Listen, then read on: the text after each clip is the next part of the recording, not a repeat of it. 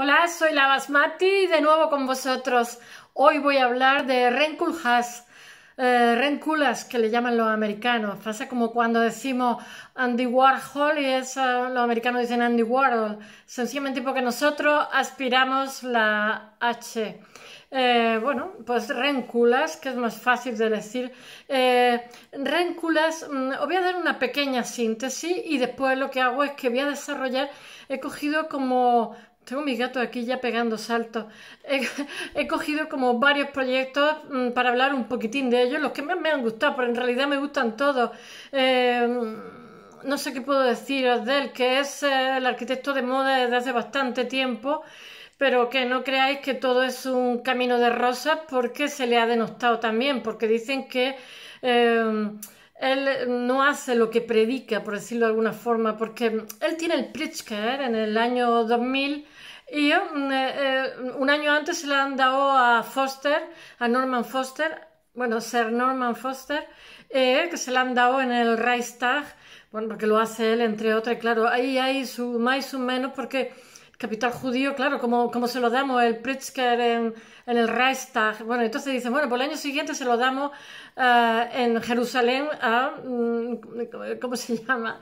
Ren Kulas, que dice los americanos y se lo dieron a Jerusalén. Y este que más bien socialista estaba ahí despotricando. Pues ahora, mm, el discurso había reivindicar la, la, presión y el genocidio que tienen con los palestinos. Al final no, al final se comportó y estuvo contenido, pero no era el sitio donde más le hubiera apetecido recibir el premio Pritzker. Pero bueno, a los premios, gracias. Eh, ¿Qué puedo deciros? Que normalmente cuando se habla de un arquitecto no se habla eh, de los programas, eh, como, por ejemplo que él usa de mm, diseño de aviones es que no me acuerdo cómo se llaman. De hecho, el que lo comienza haciendo, hay muchas relaciones. Pues, ten en cuenta que los arquitectos dependen muchísimo de la ingeniería y a su vez de los programas de diseño. Y entonces, pues, em, por ejemplo, Frank Gehry en, en, Bilbao con el Guggenheim eh, hizo el Guggenheim gracias a un nuevo proyecto de diseño, de programa de diseño, no me acuerdo cómo se llama que era del casa no sé cuánto. Y entonces al siguiente proyecto, programa de diseño que salió fue Ren el que se cogió a él lo cual no quita valor a todo lo que hace, pero quiero deciros que en una realidad tan cambiante como la nuestra, donde lo efímero lo que prima, eh, hay que estar continuamente también cambiando. De hecho, él, eh, yo que sé, cuenta, es que este señor, mirar, no se puede definir con una frase y tal, porque él también es cambiante, por decirlo de alguna forma.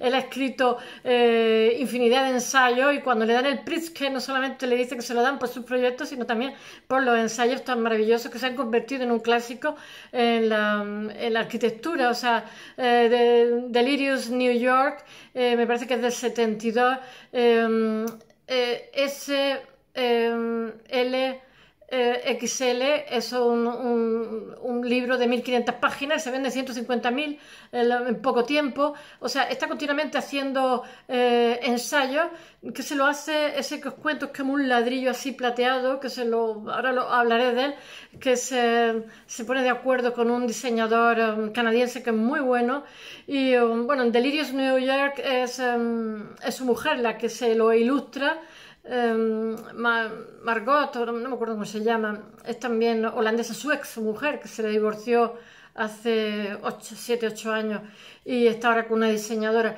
Hay que ver las cosas que cuento. Eh, ha, hecho también otro libro que se llama Elements, que bueno, el, el, de XL, XL, eh, S LXL lo hizo cuando murió su padre y se puso a reflexionar. Entonces el libro eh, habla sobre las cosas que ha trabajado en su empresa, que ahora os contaré, se llama UMA, y eh, donde estuvo trabajando también nuestra Zaha Hadid, que es maravillosa, yo la adoro, y mm, porque él, echó, él fue profesor de Zaha Hadid, él da clase en Harvard, eh, no sé si un semestre, mm, y entonces le echó el ojo porque la, la vio genial. Y entonces ese libro lo que recopila son los proyectos que tiene, eh, cómic, mm, de todo, y con un diseño increíble. Pero fijaros, un libro de 1500 páginas que se vendiera 150.000 en poquísimo tiempo. Yo no sé ya cuántas ediciones lleva, y además no es un libro barato, ¿eh? porque lo hizo este diseñador, entonces tiene papel, márgenes y tal. Bueno, eh, hizo otro libro que se llama Elements, que a él lo hicieron eh, comisario mm, de la Bienal de Venecia y mm, eh, entonces a los retos que tuvo que enfrentarse, cómo elige, como tal. Y dice él que de lo que hablaba era de barandilla, de arquitectura, pero en realidad era un libro que lo podía entender cualquiera, cualquiera de sus, ¿cómo se llama? Eh, ensayos los pueden, son de divulgación. Y además de eso, eh, Delirious New York es, um, um, ¿cómo se dice? Un libro que rompe totalmente con lo que suelen decir y hacer los arquitectos, porque este es totalmente eh, contracorriente, o sea, él no tiene nada que ver con el em, de constructivismo, otro contrario, es como una justaposición. Y, y, bueno, eh, el libro solamente deciros que eh, dice que la ciudad, que bueno, que por qué hay que estar siempre con la idea de planificarla, si la ciudad se ha formado ella sola, se ha generado ella sola, pero mirar, eh, muchas veces, como he dicho, los chicos más contestatarios, los jóvenes arquitectos, le, le, atacan un poco, incluso los rockeros, porque ellos dicen que tenemos un mundo hecho un desastre con tres cuartas partes que está bajo los umbrales de la pobreza y estos eh, arquitectos que son como reyes, no hacen nada más que hacer edificios, obras faraónicas, edificios magnos, eh, yo qué sé, obras icónicas, ¿no? Y él se defiende diciendo que él eh, que cualquier arquitecto, no él, sino cualquier arquitecto de cualquier parte del mundo, si tiene suerte, a lo mejor mm, de lo que de su proyecto en el, en el total, en lo que se construye, hay un 70%, que puede que haya nada más que un 10%, porque ellos trabajan para clientes, son, son asalariados de lujo, pero son asalariados. Y también dice que, em, eh, es que ha leído un montón de artículos, tiene un carácter que es un, un trueno el hombre, le pega unos cortes al periodista que los pone, eh, pero después los recoge, o sea, los lanza y los recoge con cierta dulzura y tal, pero eh, creo que estaba yo diciendo así de los proyectos, eh, pues que mm, eh, él dice que, que, trabajan para otros, que no son dueños tampoco al 100% de su destino, que pueden, ¿cómo diría yo?, condicionar los resultados, pero, pero muchas veces no, tienen, no, no, son, no, controlan el producto totalmente. Bueno, voy a hacer una pequeña síntesis, ahora iré haciendo digresiones. Mm, eh, y bueno, una pequeña síntesis de lo que es su vida, su obra y luego hablaré de lo que es mm, cada uno de sus proyectos. Espero no tardar demasiado porque hoy me han salido como 10 folios, pero es que de este hombre podría... Ah, bueno, deciros que ahora mismo hay una exposición que se llama Countryside, eh, que es en el Guggenheim. Mm, y es justamente lo contrario, él es como una especie, tenía que haber sido en, el 2019, pero como sabéis que ha habido toda esta movida con el COVID, no sé, pero se ha, se ha retardado. Eh, y es una reflexión sobre eh, todos los países del mundo, porque sabéis también a, raíz, él dice que él quiere que, que, se reflexione, que no es tanto una exposición de arte como una exposición para reflexionar. Eh, sabéis que con todo lo que ha pasado ahora mismo de la mm, pandemia que tenemos, pues mm, la gente empieza a plantearse que las ciudades son poco saludables, que a lo mejor tener en cuenta que estaba ahora mismo mm, tres cuartas partes de la humanidad vive Em, en ciudades y solo un 2% en el campo. Y entonces se calcula o se calculaba que para 2050 eh, el 80% de la humanidad, entre el 70 y el 80% de toda la humanidad viviría en ciudades. O sea, para que os hagáis una idea. Entonces, ahora, sin embargo, a raíz de la pandemia, hay una reflexión en contra, diciendo, bueno, pues si podemos vivir en el campo, no, no se nos ha perdido nada en la ciudad, porque la ciudad parece que como tienen el aire contaminado, viven unos encima de otros, parece que son más vulnerables a las enfermedades. Sin embargo, la epidemia, el, el campo ha sido más inmune, por suerte algo bueno tenemos que tener los que vivimos en el campo. Bueno, eh, voy, a, voy a hacer una pequeña síntesis. Reku Haas nace en Rotterdam en 1944. Eh, mm, su padre es un famoso eh, periodista que no me acuerdo cómo se llama, Anton, y su abuelo es un famoso... Anton tiene como una especie de escuela de cine, mm, algo así. Um, y, y, bueno, y se van a vivir a Asia porque a él le, proponen eh, crear ahí un centro cultural y tal. Y está viviendo nuestro Renkulas, que dicen los americanos, está viviendo cuatro años en Indonesia. Y, mm, y bueno, él absorbe un poco eh, la escuela del padre y la escuela del abuelo, que es un famoso arquitecto allí en Holanda, eh, que hace la sede de la KLM, en fin, que tiene proyectos importantes. Hombre, no, no se hace tan famosísimo como como el nieto. Pero voy a decir una cosa, el nieto es que sabe también publicitarse, ¿eh? todo hay que decirlo, sabe venderse muy bien, muy bien.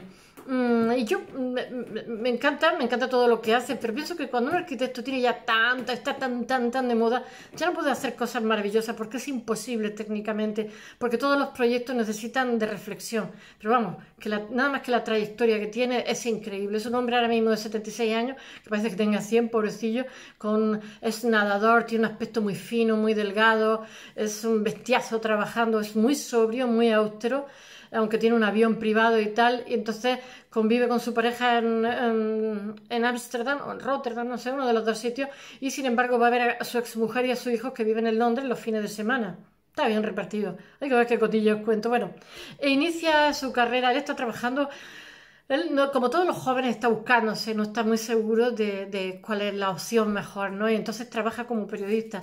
También quiere ser director de cine y hace un guion y llega a hacer una película que no la ve nadie, por supuesto. Él trabaja como periodista en el Hagens, eh, Flemish Language, eh, Post y mm, también como set designer en los Países Bajos y en Hollywood. Bueno, comienza arquitectura en, la, Associated School en Londres en 1900, y estudia con Olva, o sea, Olva María Angers en la Universidad de Cornwall y luego pide una beca que le es concedida y se va a Estados Unidos eh, y, bueno, y allí en 1978 em, escribe Delirious New York, eh, que es un ensayo que se ha convertido en un clásico, pero es un, un bestseller. Es un manifiesto como retroactivo para Manhattan, eh, yo que sé, que, totalmente hace otra teoría de la arquitectura, de lo que, de lo que estamos acostumbrados a oír, de la arquitectura contemporánea. Bueno, en 1975, junto con eh, Elia um, que es una pareja griega, y Madelon Wissendorf, que es su mujer, hace, funda OMA, que es famosísima, que es Office for Metropolitan Architecture. Y después ahora AMU, han hecho ahora otra más, porque mm, como tiene que atender tantísimos frentes, pues eh, han hecho como otra empresa que, tiene, que depende de esta empresa. Bueno, eh, solamente os voy a decir unas cuantas cosas que destacan, que ahora os hablaré de ellas, que es el, el teatro de danza de La Haya, el, mm, ¿cómo se llama? Los países mm, bajos danza, bueno, las viviendas de Nexus de Fukuoka, que son las únicas que hace no me acuerdo cómo se llama, que yo he hablado de él, que es otro Pritzker japonés que es amigo suyo, y es antes, y entonces coge a emergentes mm, de calidad y se lo lleva, tiene mano política y se lo lleva a Japón y hacen mm, casas de vecinos y hacen todas unas casas preciosas. Este hace una casa que es así como una ola, es preciosísima. Eh, y, bueno, está también, ah, es que estaba leyendo al Fernando de Galeano, también dice que está también Oscar Turquet, eh, que también se lo lleva allí, también hace como eh, en Fukuoka, hace también pues, casa de vecinos, pero todas, todas muy originales y muy bonitas en Japón. Bueno, hace el Custal de, de Rotterdam, el, bueno, el Eurolil, que pasa por ahí, mm, ahora hablaré un poquito más, él gana una eh, primero está en el Parque La Villette, que él quiere ganar ese concurso, ese proyecto, y no lo gana, no me acuerdo que lo gana, pero ese proyecto es tan bonito, impacta tanto a todos, que se hace famoso. Y entonces, eh, después tiene que pasar, el, digamos, la central del, tren de alta velocidad europeo, está en Lille, y entonces allí mm, pues, gana, ya, ya se ha hecho cierta fama, entonces los franceses ya apuestan por él, y entonces hace un teatro, hace un montón de cosas súper, súper originales el Gran Palais de Uralil. Y, um, y bueno, uh, hace otras bibliotecas también, la Villa del Alba, mm, hace también una villa, que creo que es esta, eh, que, parece, que la hace con unos materiales, hace como unas patas, parece una jirafa y después lleva una jirafa del zoo, es una, una ciudad, mm, como una villa que se ve París al fondo, sabe muy bien publicitarse, ¿eh? yo he estado viendo cosas suyas, digo, madre mía, este será buen arquitecto, pero un maestro también, lo de venderse bien tiene que ser en todas las profesiones, uy, en todas las profesiones, porque si no, si haces cosas maravillosas, pero nadie se entera, no hay repercusión social, con lo cual mm, ya ni te hacen encargo ni tal, pero es que vale también para los artistas, yo soy tímida para eso. Bueno, hace tres grandes bibliotecas. Eh, la biblioteca Jussier de París, la tengo que leer alguna, porque están en holandés, en flemish. eh, los, flamanes, el CMK de Casruhe y la biblioteca, esta sí, esta voy a hablar de ella, mm, la Biblioteca Pública de Seattle. Y bueno, hace también la Casa mm, de Música de Oporto, ahora habla de, ella. La Casa de Música de Oporto, un poquito antes había como que iba a haber, eh, como que iba a haber el fin del mundo, porque eh, cuando iba a llegar al año 2000 no se habían hecho los dígitos, se habían hecho los sistemas de tal forma que todos los dependíamos de los aparatos eléctricos. Entonces, un señor con mucho dinero, flipadísimo, pues dijo que le hiciera uno, no me acuerdo cómo se llamaban, mm, era una teoría también de fin del mundo. Y siempre pasa, en el año 1000 también pasó, en el año 1500 también pasó, no sé lo que tiene que ver las cifras 1000, 1500 para que todo el mundo diga, uh, después de ese día ya estamos todos muertos. Y entonces le encargó un, proyecto y entonces tomó, estos son mis gatos, ¿eh?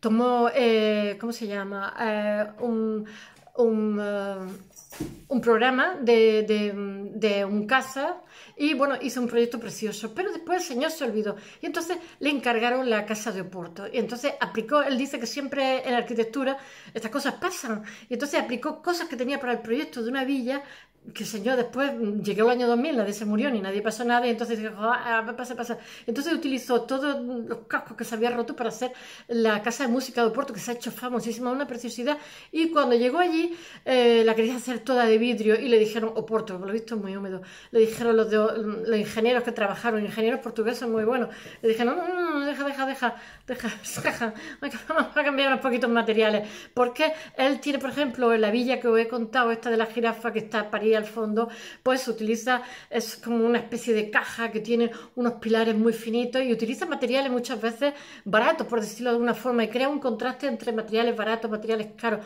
unos proyectos muy originales, ¿no? Y eh, entonces mm, aquí ya sabéis que los arquitectos dependen muchísimo de la resistencia de materiales, dependen muchísimo de los ingenieros. En Portugal hay ingenieros maravillosos, hay también arquitectos maravillosos, si no, nuestro Álvaro Cícer, que le pienso hacer otro programa porque me enamora.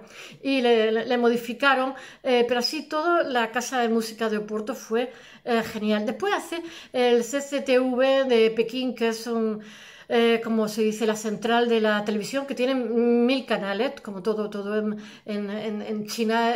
ahora hablaré también un poquito. Es una preciosidad de edificio totalmente de cristal. Y mm, se tardó tiempo en hacer porque es una obra magna, es el segundo edificio más grande del mundo después del Pentágono. Y entonces resulta que mm, mucha gente le reprocha, siempre que da una conferencia y tal, le dicen, oiga, usted ha hecho un edificio para el pensamiento único, ¿no? Porque claro, si tiene mil canales eh, para toda China, pero tienes una sola casa matriz, significa mm, que ahí se homogeneiza. Y él dijo, bueno, yo hago lo que me mandan, yo no soy nada más que el constructor de las formas, en fin, el pobre se defiende como puede. Eh, bueno, eh, en, 1995 hace el, ¿cómo se llama? De vez en cuando te echar un ojo a la, a la, a la fecha, el, el, el, ensayo de SMLXL, eh, que es un volumen de 1376, es un, ladrillaco precioso, plateado, de 1376 páginas, ¿eh? y se vendieron como rosquillas, porque él ya se había convertido con el Delirious Nueva New York, ya se había convertido en una especie, o sea, cualquier joven que estaba estudiando arquitectura, eh, cualquier joven progre, eh, yo que sé, cualquier chico moderno llevaba ese ensayo, que no necesariamente tiene que ser arquitecto para entenderlo, porque hace como otro replanteamiento de la arquitectura contemporánea. Y, bueno, se vende como si fuera, ya os digo, este tarugo se vende que lo empieza el día que muere su padre, se empieza a escribirlo Em, eh, es como una crónica de todo lo que le ha pasado, todo lo que le va pasando, todas las angustias, todos los anhelos, etc. Pero tiene muchísimo gancho con el público. Y lo, lo, mm, lo hace en colaboración con el diseñador canadiense eh, Bruce Mao y el libro contiene ensayos, manifiestos, dibujos, cómics, eh, dibujos animados, diarios de viaje, ahí le mete de todo, de todo es de todo. el, 2000, em, el 2005 Tuve que mirar la fecha, con Mark Whitley y Ole Bauman hace una revista que se llama Volumen. Y mm, eh, bueno y con el resultado de eh, Archis Amsterdam y AMO que es la nueva empresa que ha creado y la Universidad de Columbia Nueva York.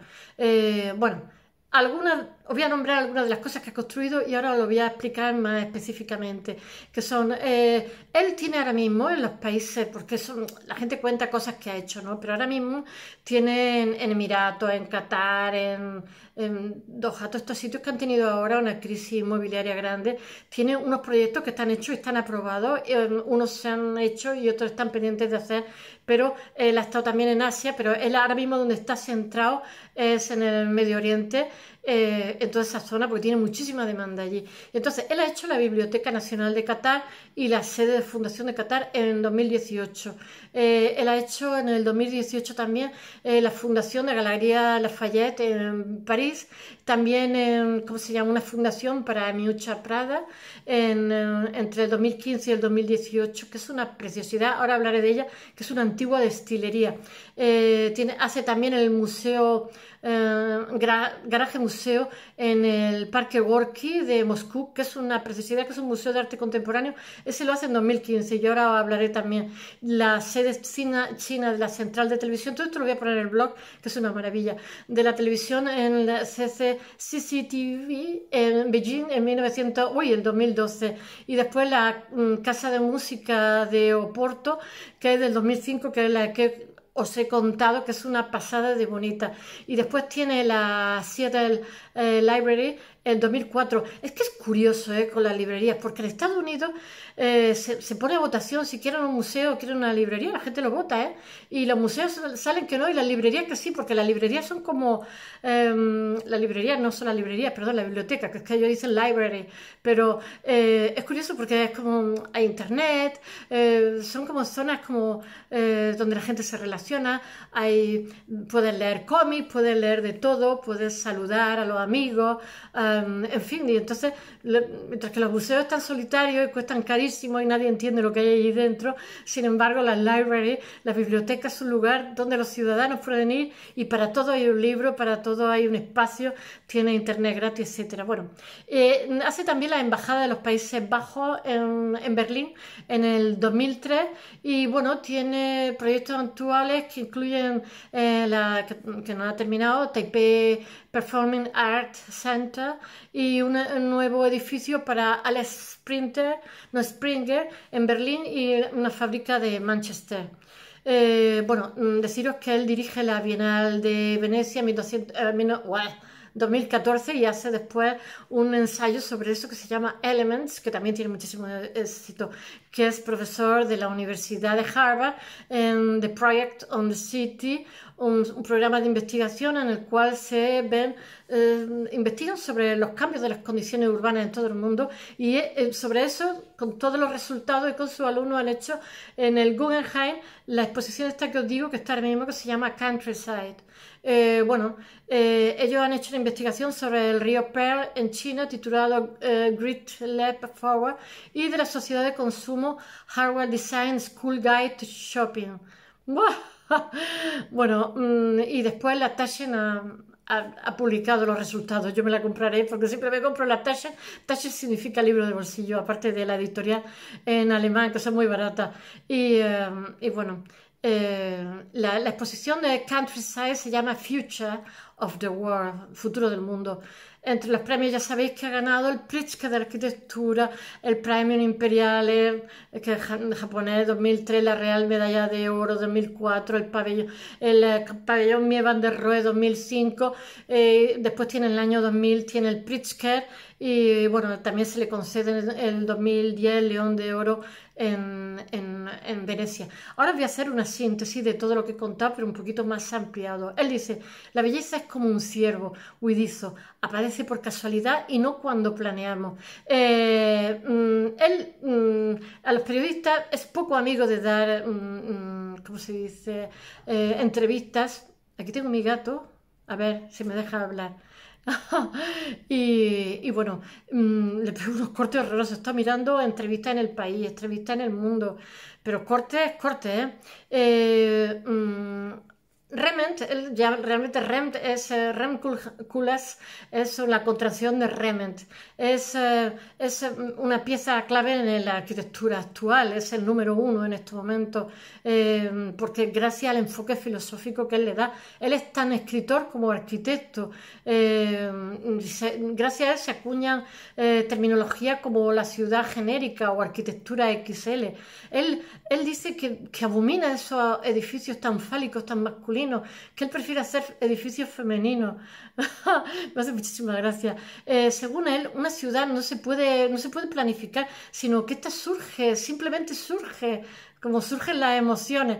Eh, Remen ya he dicho que nace en el 44 en Amberes, no, perdón, en Rotterdam, y es galardonado con el Pritzker. Estoy haciendo una recopilación de todo lo que he dicho, una conclusión, eh, por tanto por sus proyectos escritos como por sus proyectos arquitectónicos. Eh, pasa cuatro años de en Indonesia porque su padre, Anton Kulhas, es un escritor, eh, crítico cinematográfico y director de una escuela de cine, al cual invitan allí. Él es partidario de que los indonesios se independicen de Holanda y entonces es muy querido allí y es invitado a dirigir una nueva institución cultural allí y él, se va, él es un chico pequeño, jovencito, ni siquiera adolescente, un niño y eh, él dice que aprende a, mirar de otra forma cuando está allí y bueno, aunque él empieza su carrera como... Em, como periodista, como he dicho, eh, sin embargo decide seguir los pasos de su abuelo, que, ha sido un arquitecto eh, prestigioso en Holanda que se llama Dick Rasenburg.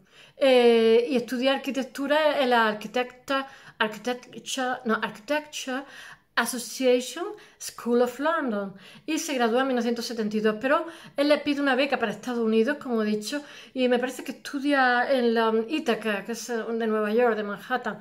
Y entonces él, él se impacta mucho con la caótica vida de Manhattan y entonces mm, eh, él escribe como el, delirio Nueva York, que, que se convierte en un en un, en un bestseller, como he dicho antes. Él completa su formación con Omi Angels de la Cornell University de Ithaca. Eh, Nueva York. Y después de haber trabajado con eh, Peter Eiserman, que es súper conocido en la EUA eh, e Nueva York. él funda, cuando termina todo esto, el OMA que os he dicho en 1975, donde está su mujer y una pareja mm, griega ella, su mujer se llama, que también holandesa, después se divorcia, tiene dos hijos, pero tienen buena vibración entre ellos. Uh, Madelon Wissendrop y los otros son Zoe Elia y Zoe Zengelis, que son griegos y tienen también mucha relación de amistad y siguen ahí. Y eh, bueno, tienen unos vínculos tremendos. Y entonces ellos lo que pasa es que enfatizan el, mm, él enfatiza más el carácter programático de la arquitectura que en lugar de el formal, por decirlo, mm, el morfológico. Eso lo dice Van Dijk. Van es un lingüista que yo lo tuve que estudiar porque hice lengua y es, es otro holandés. Ahora mismo está hasta en España dando clases, está jubilado, pero está ahora mismo viviendo en Brasil y su obra está... Mm, eh, gratuita en internet y les recomiendo, es un ser fantástico. Bueno, en 1978 le lleva la fama a Ren Kulhas y sobre todo con sus delirios Nueva York. Y y bueno, él dice que una ciudad como Nueva York, que te aseguro que en absoluto está planificada, sin embargo se ha convertido en la quinta esencia de, lo contemporáneo. Y eso sugiere que el desarrollo arquitectónico de Manhattan es un proceso orgánico, creado a través de una variedad de fuerzas culturales. Yo también lo pienso. Pero es que ese ir contracorriente es lo que le hace famoso. Es casi un filósofo, un poeta. Mm, pero bueno, después entra en contradicción, pero bueno, tampoco lo veo mal. La persona evoluciona. Pero aparte de eso, sus proyectos arquitectónicos son maravillosos también, o sea que tampoco podemos reprocharle nada. Eh, de tal forma que Nueva York y otras grandes ciudades mm, funcionan eh, como metáforas de la experiencia contemporánea. En 1978 la empresa consigue su primera gran oportunidad cuando le eh, permiten diseñar una ampliación de un edificio que es holandés, Flemish, se llama Binnenhof el edificio del Parlamento holandés de La Haya. Y mm, ahí tiene a Zaha Hadid que está trabajando con él y es, va a ser la que va a estar ahí, la mano militar y que va a estar ahí trabajando y haciendo cosas. Después, poco después se independizaría y le robaría un ingeniero que tiene muy bueno, Renkul Haas. Porque mira, la locura mm, necesitan de buenos ingenieros porque allí son toneladas de hormigón armado. Bueno, eh, aunque la ampliación nunca se lleva a cabo, el, proyecto que, que, impulsó Colhas le, catapulta totalmente a la fama. A partir de ahí ya está vendido. Y entonces entre el 85 y el 88 le encargan planes urbanos para, para los distritos residenciales eh, de E.G. Plain en Ámsterdam tengo que leer la fecha, y, mil, y con 1.375 apartamentos, un centro social y una escuela. En 1982 tiene, como he dicho antes, el Parc de la Villette ¿eh? en París y 55 mm, hectáreas al norte del París. Además, lo proyecta, hace un proyecto precioso, pero no lo consigue. Pero Rey es más bonito y se ha hecho famoso es como, hace como si fueran loncha, loncha de jamón y entonces no quiere tridentes barrocos ni algo, sino todo lo contrario.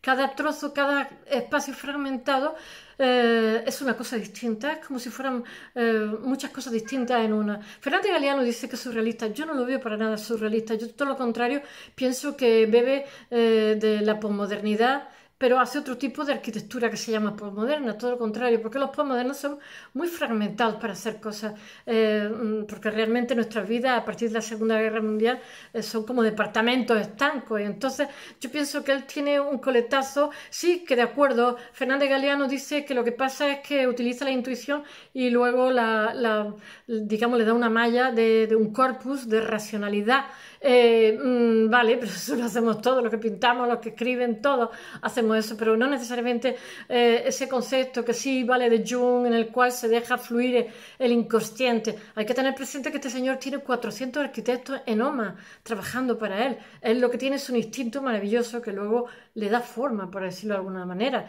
pero tiene también 400 arquitectos a los que le está chupando la sangre, no quiero ser mala. Bueno, hace este proyecto para el Parc de la Villette no se, lo, no se lo aprueban, pero se hace famoso porque el proyecto es una preciosidad y em, demuestra que es un programa artístico totalmente eh, basado en la necesidad de eh, combinar la necesidad programática con la especificidad arquitectónica y no, no consigue el proyecto, pero yo digo que se, se, hace famosísimo, se hace más famoso que el que consigue el proyecto y consigue más proyectos a raíz de eso. Y de hecho, a raíz de esto, los franceses le conceden un proyecto magno, que es su primer proyecto magno, que es el del tren de alta velocidad en 1991 en Lille el Eurolil y a partir de ahí hace un salón de actos, que es una maravilla. Bueno, hace toda una serie, no solamente el, eh, lugar, del, sino todo lo que hay alrededor y es una, un desafío mm, increíble, gigantesco, al cual él sabe, digamos, sabe contestar con muchísimo talento y ahora mismo, digamos, está dentro de la historia de la arquitectura porque es maravilloso, es el, abre un camino. Y bueno, después hace también una, una, una residencia en Fukuoka, Japón, que son las únicas que hacen su vida, pero son también una preciosidad. Las paredes, él crea una área muy extraña eh, y, bueno, ve el edificio, en vez de ser así, es así, es fantástico. Bueno, son 24 casas, no os creáis. Y entonces ya os he dicho que no me acuerdo cómo se llama el, el arquitecto japonés que tiene en mano, que he hablado de aquí, que es otro Pritzker, y apuesta se lleva arquitectos jóvenes que le echa al ojo, nuestro Oscar Turqués también, y les da edificios de vivienda eh, para que vayan allí, digamos, fogando, como dice la gente, más basta, entrenando y hacen unos proyectos todos maravillosos. Y bueno, eh, este, este, este em, ¿cómo se llama? Este arquitecto japonés también viene y hace proyectos en, en Barcelona eh, para la Olimpiada. Bueno, ay, que no me acuerdo si lo tengo en la punta de la lengua. en 1987 hace Flemish, el Lucen Dance Theater el teatro que es eh, uno de los primeros logros de OMA que se convierte en el hogar de la compañía de lanza. Este teatro, aunque es una pasada, es muy difícil porque está en un terreno muy irregular, tienen que luchar con, tampoco tienen tantísima experiencia, tienen que luchar contra muchísima adversidad y al final, al final lo completa en 1987 y es un gran triunfo para él también que le permite, cada vez que consigue algo, a su vez lo catapulta a otros proyectos que se le, solicitan. Y, pero mm, después lo, lo, lo demuestra demuelen en, 2015 este, este lugar para hacer un sitio mejor, porque él dice que se las ve y se las desea. Está formado por un vestíbulo común, un auditorio, una sala de ensayo, tengo que mirar la fecha y un bar flotante. Eh, el edificio permanece en pie hasta 2015, como he dicho. Entre el 88 y el 94 uh, hace lo del Eurolil, que es un bestial. Y, bueno, también reinterpreta el centro de la ciudad porque después lo llaman para hacer otra, le gusta tanto que después lo llaman para hacer otra serie de ampliaciones. Y fijaros si, si trabaja allí, es una pasada de bonito. Y yo qué sé, desde la calle central hasta las tiendas, hasta el Palacio de Congreso, Congrexpo, que también hace como una loncha así partida. Eh, bueno, en 1992 hace el, el Kunsthal, Aquí estoy, dando los que me han gustado, los proyectos que más me han gustado, que los pondré en el blog. El prestigioso de arte, hoy Museo de Arte de Rotterdam. Ahora os contaré que también hace unos edificios gigantescos en el puerto, que son los, el segundo edificio más grande. Eh, en su país hace muchísimos proyectos y me encanta que sea así. Es otro de los impresionantes, este museo es otro de los proyectos impresionantes de Kulhas y además, si miráis en internet, para visitar Holanda, os dice, os recomienda dónde tenéis que ir de, y sacan todos los proyectos de Koolhaas ya, porque es un clásico este señor con 76 años. Y el, el bueno, que el espacio está diseñado como una casa, caja, hoy, una caja cuadrada con suelo inclinado eh, y que llevan a los visitantes por diferentes exposiciones. Eh, yo qué sé, el edificio está lleno de detalles fascinantes, como la galería principal que parece flotar por encima de la calle, materiales inesperados como el plástico corrugado, transparente, el hormigón al descubierto, en fin, acero, galvanizado, en fin. Él le gusta muchísimo jugar con los materiales. ¿eh? En Portugal también lo hace. Como sabéis que en Portugal hay cerámica, lo que hace cuando en la Casa de la Música es que en vez de hacer la cerámica portuguesa, que es así, azulita y tal, pone los suelos con cerámica y lo que hace es que la, la pone desordenada, muy bonita, pero hace preciosidades. Bueno, eh, de Rotterdam, este es el edificio que quería deciros. Es el segundo, en 2013 es un edificio gigantesco. Él dice que los edificios no tienen por qué ser coherentes. Tú puedes, tú puedes estar en un edificio y tener un hospital, un centro comercial, una escuela, un gimnasio. Y entonces hace mm, como con esa idea de, en Inglaterra hace un, también un, edificio, no, lo he puesto aquí porque he puesto unos que me gustaban más eh, y también es muy bonito y lo hace para eso y en uno un gimnasio, en otro una piscina. O sea, ideas para mí no es tanto surrealistas como la idea de la modernidad, de la fragmentación, de, lo, eh, de la, vida que tiene dentro no tiene nada que ver con la apariencia que tiene fuera, pero él potencia la diversidad que se dé dentro, mejor un campo de golf, etcétera. Bueno, eh, estos son unos rascacielos que hay en Rotterdam y es el segundo edificio más grande del mundo y entonces da una idea muy buena de modernidad en, eh, en el paisaje de Rotterdam. Entonces, según te vas moviendo, por la forma que tiene, los vas viendo unidos, los vas viendo separados. Hay como un juego, él ha potenciado como un juego óptico eh, en este conjunto de Rotterdam y que completó la construcción en el 2013, lo voy a poner también en el blog y um, yo qué sé. Eh, y, él, y él cuando lo construye, como he dicho, él piensa que esas torres van a, ser vistas en movimiento, porque es como si dijéramos el edificio emblemático de un puerto con muchísima actividad, ¿no? Y entonces pues eh, como he dicho, hace como un juego óptico, están continuamente moviéndose. Tú te vas, mueves en el barco y ellas se mueven también. Son de vidrio, son una preciosidad. El arquitecto juega con la ilusión óptica de, los edificios, que se fusionan, se separan y mientras gente pasa por delante de ellos.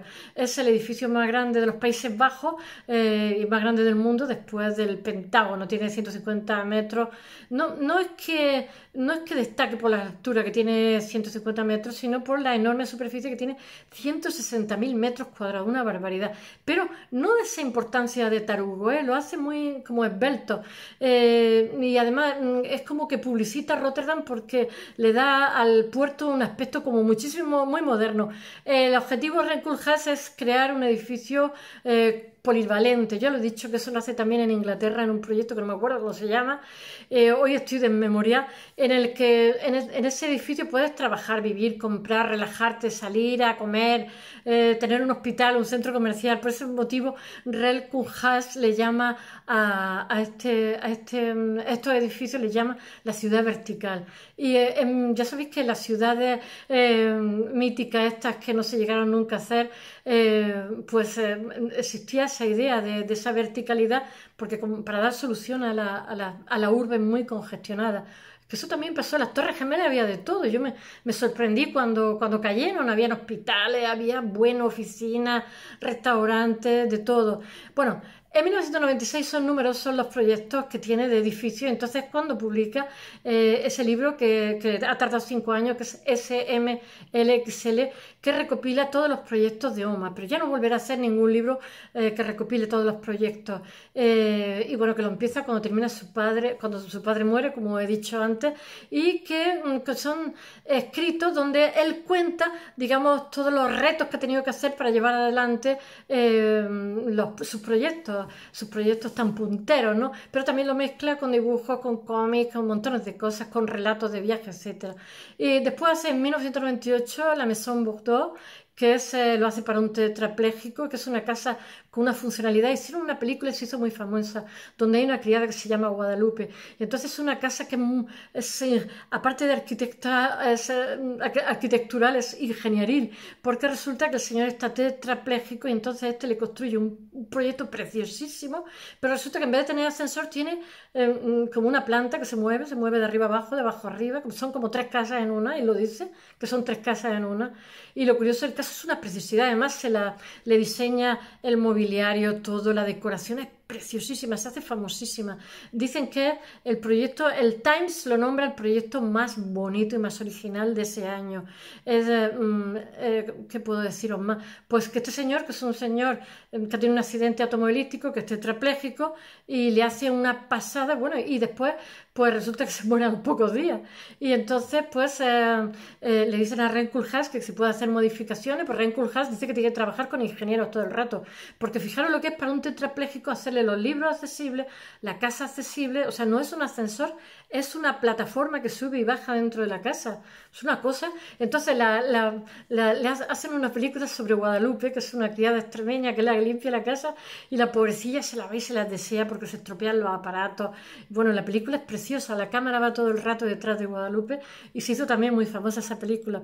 Y no sé, eh, es una casa que aúna funcionalidad estética, la voy a poner también en el, en el blog. Y se equiparan ahí una serie de elementos donde son eh, la plataforma elevadora. Está en internet, me parece, la película que os he dicho, ¿eh? porque se intenta que llegue a todas las casas, a todas las plantas del edificio. Hay tres plantas. Él dice lo siguiente: dice, en el proyecto, la parte inferior es similar a una cueva para la vida más íntima de la familia. La casa superior se divide en espacios para la pareja y espacios para sus hijos.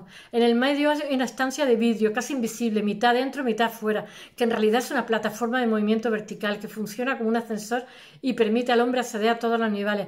Una pared del ascensor es una superficie continua de estantes que permite el acceso a los libros para su trabajo. Bueno, en el 2000 se le da el Pritzker, que ya he dicho, que se lo dan en Israel, sale en una fotografía donde está al lado del muro las lamentaciones, y eh, bueno, y que el Pritzker le dice que le dan el premio no solamente por los proyectos, sino también por los maravillosos ensayos que hace. Eh, un arquitecto que está en sintonía los maravillosos ensayos que escribe un arquitecto que está en sintonía con el futuro y es un profeta de la nueva arquitectura moderna, razón eh, por la cual le dan el, el. Y eh, no he, de deciros que el MoMA le ha dedicado mm, dos exposiciones ya. O sea, imaginaros hasta qué punto está consagradísimo. Pero también os digo que tiene 76 años y parece que tenga 700 años. Está viejísimo y es que yo creo que no para de trabajar. Eh, el, um, considera de suma importancia el corpus de ensayos que hace, como he dicho, y la cantidad de textos divulgativos. Son bestsellers todo lo que escribe. Bueno, y bueno, mm, que, crea el, amo y, bueno, y, tras, darle el Pritzker en el 2000, pues le, hacen cantidad de, solicitudes porque esto tiene una repercusión, es como el Nobel para los arquitectos. Y entonces eh, le, llueven los proyectos y entonces tiene el en, tengo que leer la fecha, en el 2001, el Hermitage Guggenheim de Las Vegas, en, el 2003 la Casa de Música de Oporto, que lo he dicho, que lo hace con un proyecto, o sea, con un programa aéreo de unos aparatos aéreos que lo utilizan muchísimo los arquitectos, incluso el Guggenheim también. Eh, después, en 2010, la Galería Manling en Hong Kong hace todo esto a raíz del Pritzker, ¿eh? todo le salen Madre mía. Después, el Centro de la Televisión China se la encargan también que la termina en 2012. Todavía tiene mm, proyectos que están a medio y que, y que están medio... Bueno, eh, después Miucha Prada le, dice que haga su tienda, su fundación, la tienda de Nueva York, le hace como un lugar en el Soho, en un lugar que puede ser usado también no solamente como tienda, sino como un lugar de mm, sala de conciertos, etc.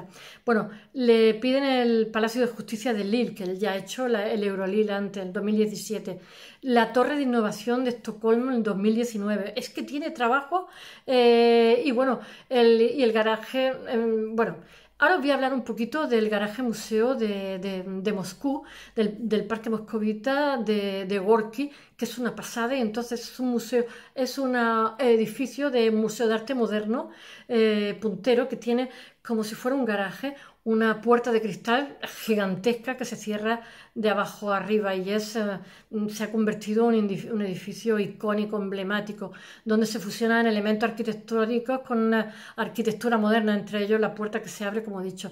Después está, solo, esto es una recopilación y ya termino. En 2004 la 7, el Library, como os he dicho, eh, que simula como una pila de libros y um, recuerda una pila de libros y combina el diseño futurista con la funcionalidad. Está llenísima de gente, es una precisidad. También se ha convertido en otro icono. Que es como el rey Midas, todo lo que toca. Esto. Em, en, este diseño no se inspira en la conservación de libros, sino en el acceso de los lectores. Después está la Fundación Prada, que, eh, de Miucha Prada, que es Fundazione, que dicen los italianos, eh, y que es una antigua destilería y hace una pasada también precioso. Eh, y allí hace sala de exposiciones, biblioteca, library también, cine, un café, hace un montón de cosas. Además, mantiene la fachada, pero sin embargo lo que va superponiendo lo, hace color oro, con, diferentes materiales, como si fuera una especie de pequeña ciudad que está una encima de la otra, preciosísima. Bueno, y en el 2012 tiene el edificio eh, CCTV de Pekín, que he dicho, el de la mil cadenas, que realmente tiene una casa matriz. Eh, bueno, eh, tras un periodo de planificación y construcción, no sé si se le quemó, porque dice, Fernández Galeano dice que llega a Madrid, entonces él quiere hacerle los honores y le pregunta que si quiere ver algún edificio, dice que era la época en que se había quemado Windsor, dice que quería ver el edificio quemado, y decía, allí que fuimos a ver el edificio quemado. bueno, eh, mm, esta sede de, la televisión pública china tiene tres torres y gracias a su forma eh, geométrica irregular, parece como, mm, según como la mires, mm, parece una cosa distinta eh, actualmente es el segundo edificio también más grande del mundo tras el Pentágono en Washington. Bueno, os voy a decir una frase y termino. Dice, términos como ciudad, calle, identidad, arquitectura son cosas del pasado. El pasado es demasiado pequeño como para vivir en él. Esto lo dice Ren. Espero que os haya gustado. Hasta mañana.